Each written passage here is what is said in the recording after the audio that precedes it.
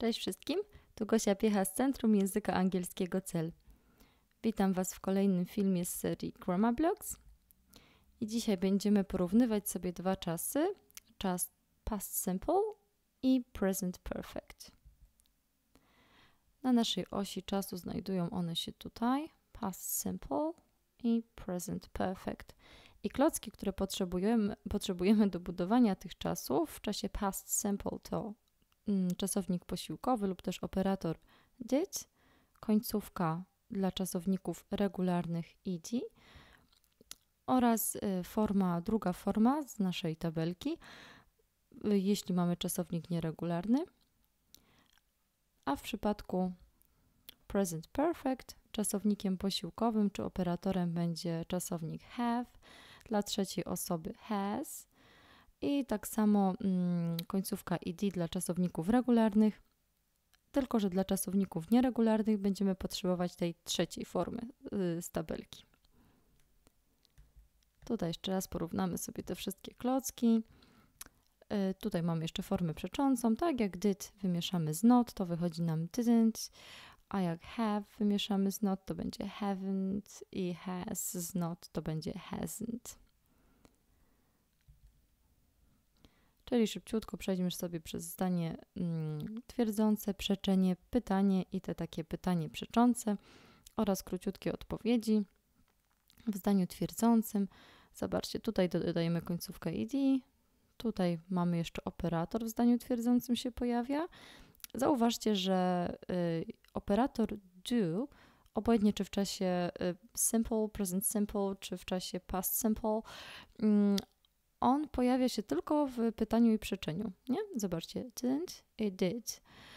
Y, a w, mm, w, czasach continuous, tam gdzie operatorem jest czasownik być i w czasach mm, perfect, ten operator pojawia się też w zdaniu twierdzącym. Widzicie?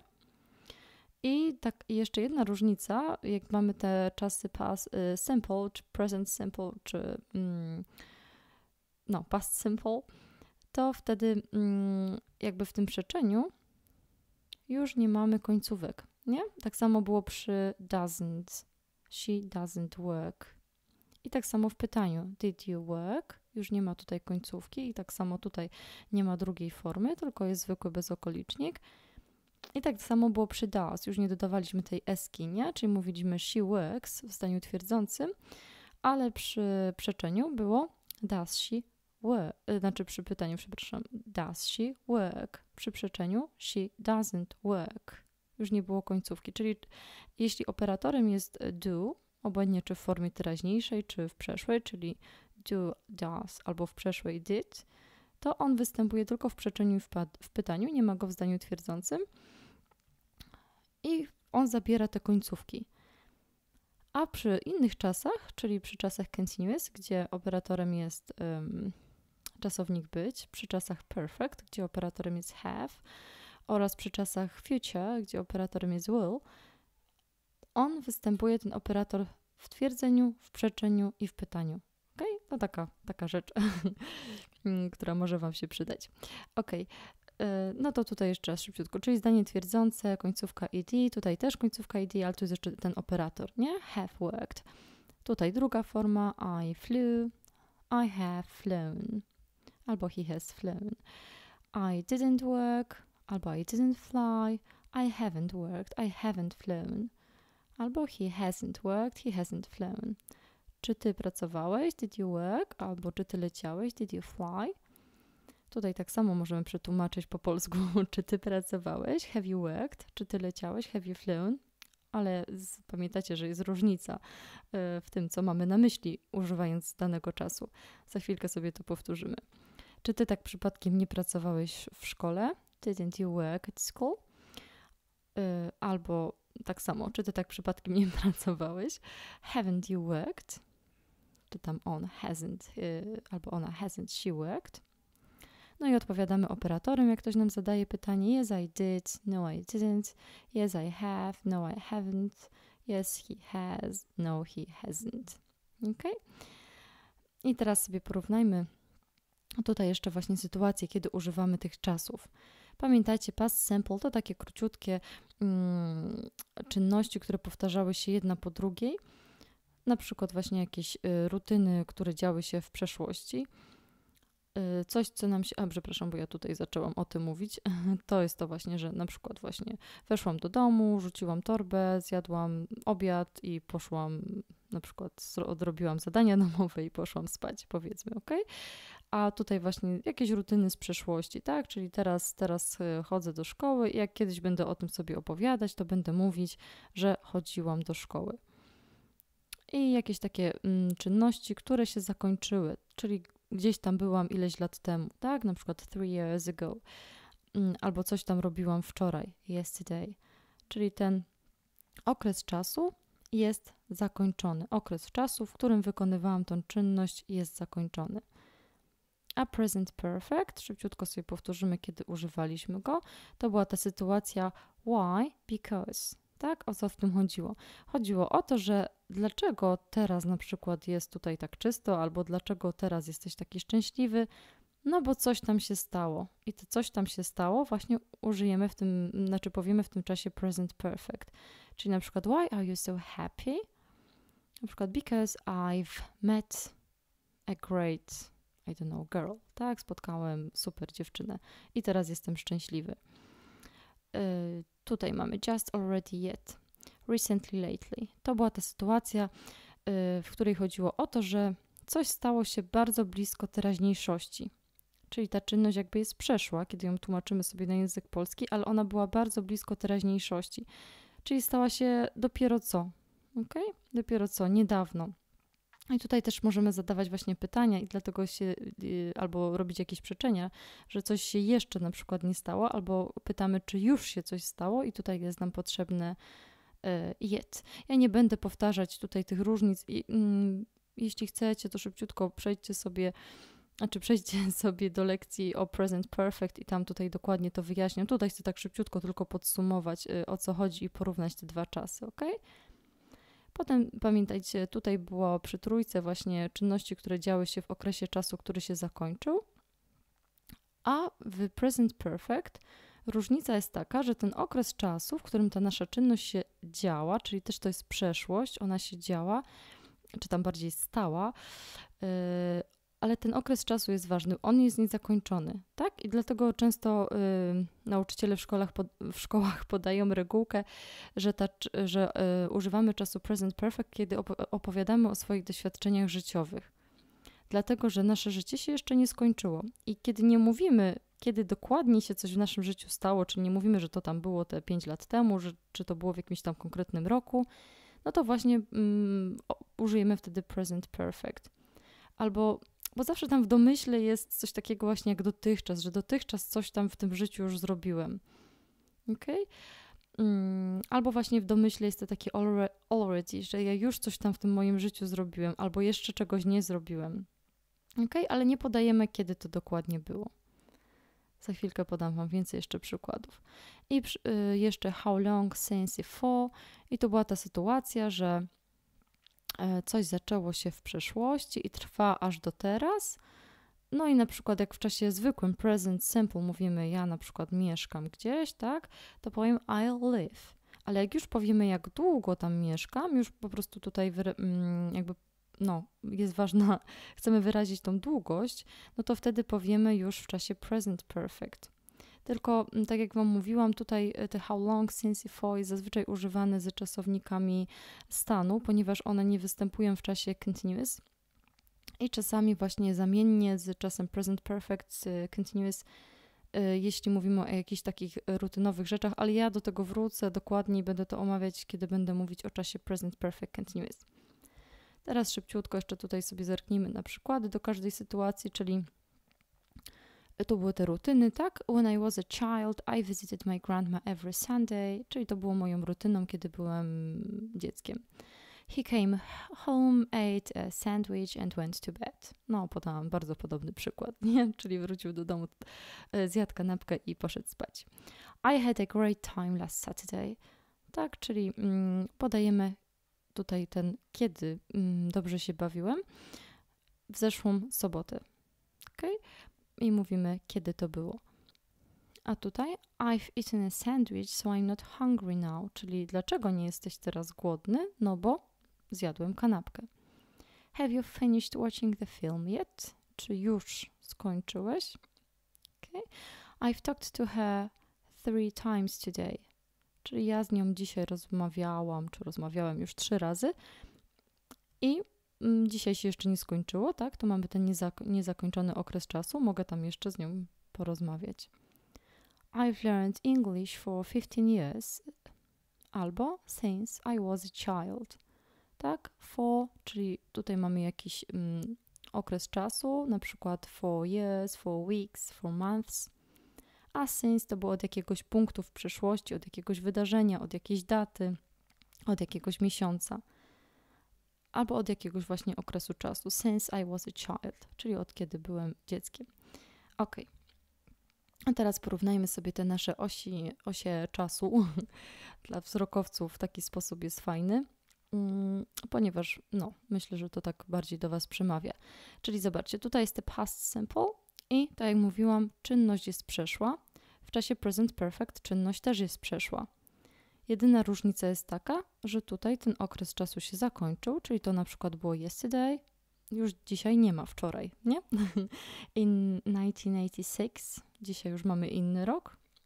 Last week, to jest zeszły tydzień, nie teraz, nie teraz, o jak to powiedzieć, nie ten tydzień teraz. Uh, two days ago, ago, czyli temu. Kiedy? When? When I was a child, kiedy byłem dzieckiem, nie? Dzisiaj, today, this week, czyli nie, zobaczcie, to jest last week, a to jest this week, czyli ten mm, tydzień jeszcze trwa. This month, ten miesiąc jeszcze trwa. In my life, moje życie trwa. Okay? I tutaj um, to było takie troszeczkę powiązane, czyli w tym tygodniu, w tym miesiącu, aż do teraz coś tam zrobiłem, czyli um, od kiedy się ten tydzień na przykład zaczął, aż do teraz. I tutaj często właśnie ten present perfect jest używany, kiedy mówimy, ile razy coś tam zrobiliśmy. Dlatego ja tu dałam taki rysunek i tu chodziło o to, że na przykład e, ja już w moim życiu byłam tam powiedzmy w Hiszpanii cztery razy. Okay? So I've been um, to Spain four times so far. I'm sorry. Okay. Tutaj ta sytuacja to chodziło o te czynności, które działy się szybciutko, takie szybko jedna po drugiej. Nie? Czyli to chodziło o to właśnie wszedłem, zobaczyłem, zrobiłem, poszedłem i tak dalej. I potem jeszcze te rutyny, nie? W czasie past simple, czyli co tam robiłem rutynowo w jakimś okresie czasu, który się zakończył. Kiedy byłem dzieckiem, okay? czyli kiedy na przykład chodziłem do szkoły, to coś tam rutynowo zawsze robiłem. Y, how often bo też w, jeśli zadajemy pytanie, to w przyszło, na przykład how often uh, did you go to the cinema when, when you were at school? Okay, no i wtedy też odpowiadamy y, w tym czasie past simple. Y, tutaj jeszcze mamy wykresy, właśnie to jest te why, because, dlaczego teraz jakoś coś tam wygląda, ponieważ w przeszłości coś się stało. Okay? Albo coś bardzo blisko teraźniejszości się stało, to było to recently, just, already, yet. Albo właśnie for i since. Mm, tutaj coś się zaczęło w przeszłości, trwa aż do teraz. Nie chcę Wam tego tak w kółko powtarzać. Chcę się bardziej skupić na tej różnicy między past simple i present perfect i zobaczcie, to jest ta główna, to jest właśnie ta główna różnica. Ok, ten e, właśnie, że okres czasu tutaj jest zamknięty, a tutaj y, coś, jak ten okres czasu jeszcze się nie zakończył, on dopiero zakończy się w przyszłości. Tutaj jedynie jeszcze dałam y, state verbs, ponieważ present perfect on też należy do grupy czasów simple. I jeśli będą state verbs, też użyjemy present perfect, nie present perfect continuous. Ale do tego też wrócę, jak będę omawiać present perfect continuous. Teraz każda z słówek przygotowała dla Was przykład i musicie rozróżnić czy tutaj w tym przykładzie użyjemy past simple, yy, czy present perfect. I zobaczcie, co tutaj do nas mówi Mark. Sonia, hmm, back. So my car is safe now. Zobaczcie, jego samochód teraz jest bezpieczny. Dlaczego jego samochód jest bezpieczny? Ponieważ Sonia wróciła. Do którego czasu użyjecie? Mhm. Sonia has come back, so my car is safe now. Ok, czyli on mówi, mój samochód jest teraz bezpieczny, ponieważ Sonia wróciła. Ok. Zobaczmy, jaki przykład przygotowała dla Was Sonia. Where's my bag? I, hmm, it on the sofa a few minutes ago, and now it, hmm, somewhere. Zobaczcie, ona szuka torebki, tak? Yy, I mówi, że położyła ją na sofie kilka minut temu i teraz ona gdzieś zniknęła. Jaką tutaj mamy sytuację? Zobaczcie, tutaj mamy ago, czyli ona podaje dokładnie, znaczy no dokładnie, kilka minut temu, tak? Mówi, po prostu mówi kiedy położyła tą torebkę, czyli jak mm, będziemy wiedzieć kiedy, to będzie czas, już odpowiedźcie na to pytanie, a tutaj ona teraz gdzieś zniknęła, czyli dopiero co gdzieś zniknęła, tak? Więc myślę, że już znacie odpowiedzi. Where's my bag?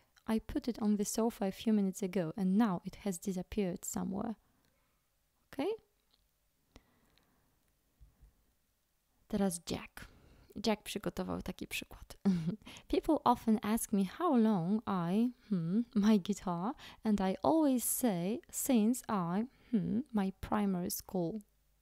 Tak, czyli ludzie często pytają mnie, jak, y, czy jak długo, mm, po polsku lepiej to przetłumaczyć, od jak dawna y, gram na mojej gitarze i ja zawsze mówię, jakby, że od momentu, kiedy no, skończyłem. My po polsku powiemy, nie opuściłem szkoły, tylko jakby skończyłem szkołę. Ok, to zobaczcie, jaki czas. Tutaj od jak dawna, tak, gram. I pamiętamy, że jak właśnie mówimy o tej długości, od jak dawna coś robimy, no to wtedy pamiętacie, jakiego czasu użyjemy. A tutaj mm, po since, co użyjemy? Popatrzmy sobie na odpowiedzi. People often ask me how long I have played my guitar, and I always say since I left my primary school. Ok? Zobaczcie, często właśnie tutaj uczniowie robią błąd, ponieważ widzą since, a since im się kojarzy z czasem present perfect, no to dają mm, present perfect. I dlatego ja tak bardzo naciskam na to, żeby zrozumieć jednak tę sytuację, żeby nie uczyć się tak, wiecie, że just, already yet to będzie present perfect, a go to past simple. Bo widzicie, że nie zawsze to tak wygląda. Since, tutaj jakby post since będzie past simple. Przed nim będzie present perfect. Zobaczcie. Wrócę tylko tutaj do tego, żeby wam to wytłumaczyć. Mm, sekundka. Tam chcę wrócić do tych y, osi czasu. Ok, zobaczcie. Bo tutaj, tu jest ten punkt, nie? I tutaj się coś wydarzyło. Czyli ja tutaj w tej przeszłości wyszedłem z tej szkoły, czy na przykład tutaj w tej przeszłości byłem dzieckiem, tutaj wróciłem z wakacji i tak dalej. Tutaj to jest wydarzenie z przeszłości. I tu użyjemy czasu past simple, czyli I left school, I was a child, I uh, came home. Okay? I od tego momentu coś tam się wydarzyło, i dopiero te coś tam, te fioletowe tutaj, te coś tam wyrażamy w czasie present perfect. Czyli tam był przykład, że on gra na tej gitarze, nie? I have played the guitar since od momentu, kiedy ja coś zrobiłem. Since I left school. Ok, mam nadzieję, że jest to dla Was jasne. Czyli jakby po tym since będziemy dawać past simple, dlatego że mówimy o tym przeszłym wydarzeniu. Czyli od momentu tego przeszłego wydarzenia ja coś tam robię.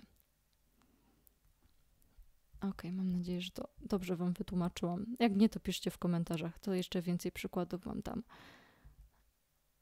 Mm, ok, tak, tu jesteśmy. Mm, where are we? Ok, I left my primary school. Ok, i teraz Sam. I'm tired. I think I need to go on holidays. I, hmm, in Spain last year, but I, hmm, to Italy. Co ten sam nam tutaj mówi? Jestem zmęczony, myślę, że potrzebuję pojechać na wakacje. Mm, byłem w Hiszpanii w zeszłym roku, ale nigdy nie byłem we Włoszech. Popatrzcie, po polsku mamy byłem, byłem. I teraz dlatego musicie zrozumieć tą sytuację, ok? Tutaj w zeszłym roku. Zeszły rok jest okresem czasu zakończonym. Czyli o przeszłych sytuacjach będziemy mówić w czasie, wiecie już jakim. Y, a tutaj mamy I to Italy, czyli nigdy nie byłem we Włoszech. I tutaj mówimy o tym, czego nigdy nie robiliśmy, czyli omówimy o swoim życiu, czego nigdy nie robiliśmy od momentu, kiedy się urodziłem, aż do teraz. Moje życie się nie zakończyło. Okay? Zobaczcie, te sytuacje się troszeczkę pokrywają, nie? Od, y, tak jak te właśnie, tak jak przy Sensi 4, coś się zaczęło w przeszłości, trwa, trwa aż do teraz, tak samo ten okres czasu możemy tak traktować. Więc na pewno już wiecie, jakie są odpowiedzi. I'm tired. I think I need to go on holidays. I was in Spain last year, but I've never been to Italy. Ok? Widzicie tę różnicę? Mam nadzieję, że tak. Jeszcze tutaj mamy Majka. Co wam Mike przygotował? I'm very hungry today. I, hmm, five sausages so far. I, hmm, them in Uncle Sam's fridge while I was looking for some milk. I hope he won't be angry. Okay? Czyli mm, Mike jest bardzo głodny dzisiaj i zjadł już pięć kiełbasek. E, znalazł je w lodówce, no znalazł je w lodówce wujka sama, kiedy szukałem mleka. Mam nadzieję, że nie będzie zły. I zobaczcie, jaka jest tutaj sytuacja. Już dzisiaj, tak? Dzisiaj się jeszcze nie skończyło. I ja już dzisiaj, od początku, kiedy dzisiaj się zaczęło, aż do teraz, yy, zjadłem pięć kiełbasek. I tutaj znalazłem e, je w lodówce, podczas gdy szukałem mleka. Tutaj Wam chciałam przypomnieć taką inną sytuację jeszcze, o, zaraz chwilkę o niej opowiem więcej. Mam nadzieję, że y, on nie będzie na mnie zły. Wiecie już, jakie czasy użyjemy? I'm very hungry today. I have eaten five sausages so far. I found them in Uncle Sam's fridge while I was looking for some milk. I hope he won't be angry. Okay? I have eaten, no bo so far, nie? Aż do dzisiaj, od początku dzisiejszego dnia, aż do teraz. I znalazłem je e, w lodówce wujka sama, kiedy szukałem mleka. Pamiętacie tę sytuację? Tutaj jeszcze dałam past continuous tak dla powtórki, czyli ja sobie szukałem, szukałem, szukałem i znalazłem kiełbaski. ok? Więc tutaj już mówimy mm, jakby o szczegółach, kiedy po, później już mówimy o jakichś tam szczegółach. Mówiłem, to znaczy tak, może inaczej wam to powiem. Mm, on mówi tutaj dokładnie, kiedy je znalazł, tak? No bo on znalazł je wtedy, kiedy szukał mleka. Tak łatwiej wam będzie zapamiętać. Czyli jak zawsze, jak mówimy, kiedy coś się stało, to będzie past simple.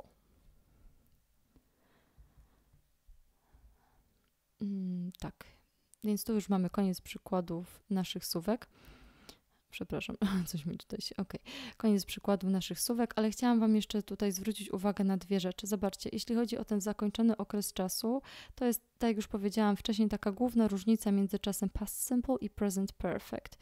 I chciałam Wam dać troszeczkę więcej przykładów i włączyć Wam myślenie, żebyście oduczyli się po prostu patrzenia tylko i wyłącznie na na te takie właśnie słówka typowe, mm, tak jak for, since, just, already, recently i tak dalej, że widzicie je i już wiecie, że takiego czasu użyjecie. Musicie zrozumieć sytuację, to jest ważniejsze. Zobaczcie. Czyli zakończony okres czasu. I was in Russia in 1999. I've been to Russia once. I tutaj w domyśle jest once in my life na przykład, nie? Ok. A tutaj podajemy, kiedy dokładnie byliśmy tej Rosji. Czyli to jest to, o czym już mówiłam. Ale popatrzcie tutaj na te dwa kolejne przykłady. Y, tutaj mamy, w tym przykładzie mamy for. Zacznijmy od present perfect. My father has lived here for 20 years. Ok? Czyli mój ojciec mieszka tutaj już od 20 lat. On jest jakby wciąż, no wciąż żyje, tak? I mieszka tutaj od 20 lat ale mój pradziadek, my great grandfather lived here for 20 years. Zobaczcie, tu używam czasu past simple. Dlaczego? Dlatego, że mój great grandfather, czyli mój pradziadek, yy, już nie żyje. Okay? To znaczy, że jego życie jest zakończonym okresem czasu. I zobaczcie, jak będziecie mówić o życiu osób, które już zmarły, no to nie będziemy używać czasu present perfect, pomimo że jest tutaj for albo na przykład since, tak? Bo mogłabym tutaj, mogłam tutaj użyć też zdania na przykład my great grandfather lived here since he was a child. Ok? Czyli pomimo tego użyjemy past simple, ponieważ ich życie jest zakończonym okresem czasu.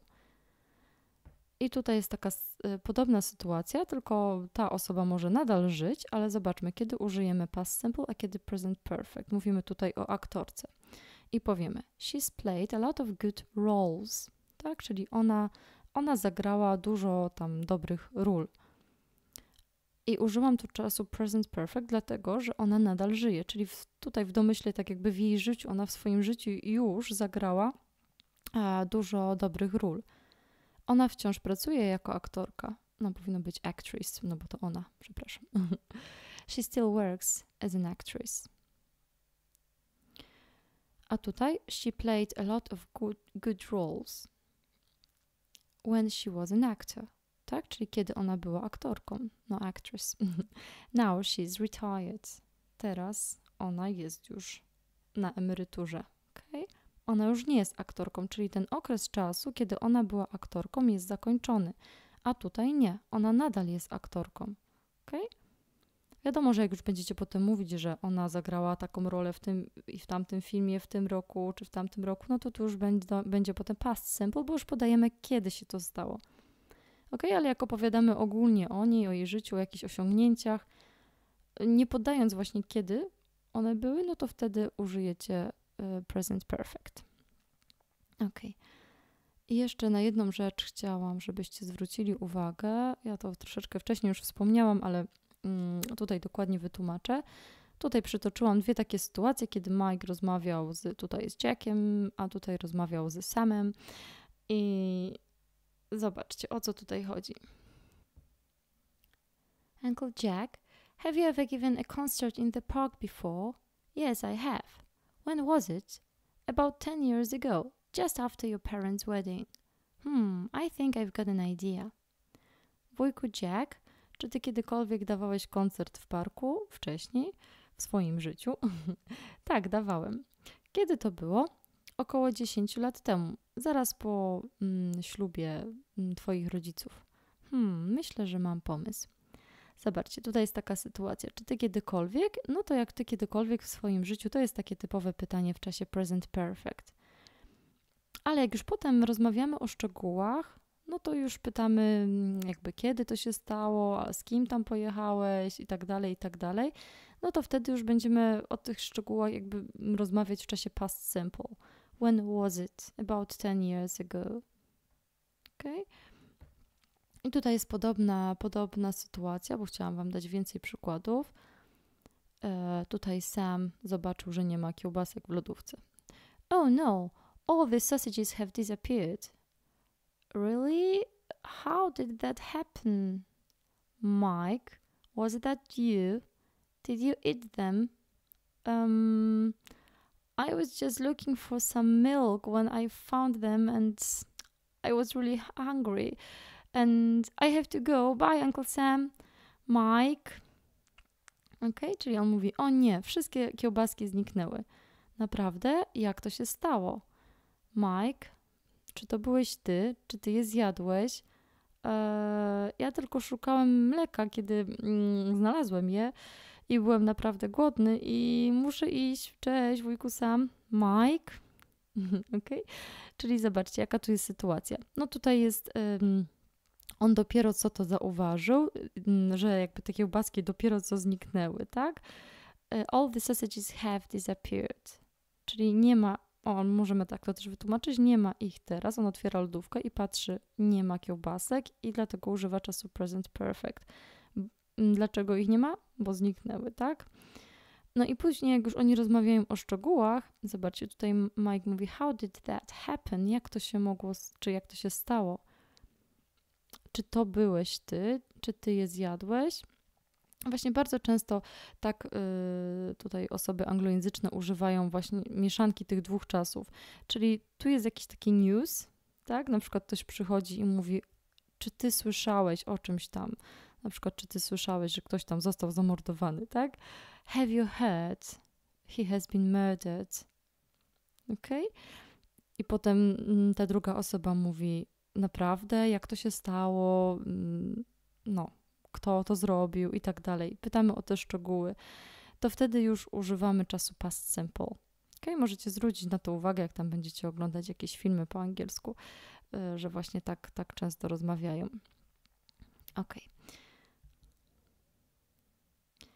Oczywiście zapraszam Was jeszcze na stronę www.quiz.celmyślnikangielski.com, żeby przećwiczyć sobie te, tą różnicę między tymi czasami. Tam macie parę zdań do mm, pobawienia się klockami.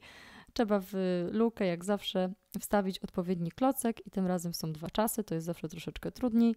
Musicie rozróżnić, którego czasu użyć i wtedy dopiero wybrać odpowiednie klocki. A ja Wam już dzisiaj dziękuję.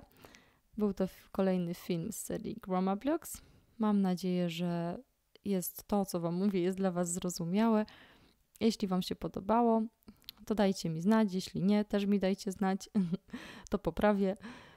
I zapraszam Was do oglądania następnego filmu, który już mm, tutaj wrzucę za tydzień. Dziękuję Wam za uwagę. Gosia Piecha z Centrum Języka Angielskiego CEL.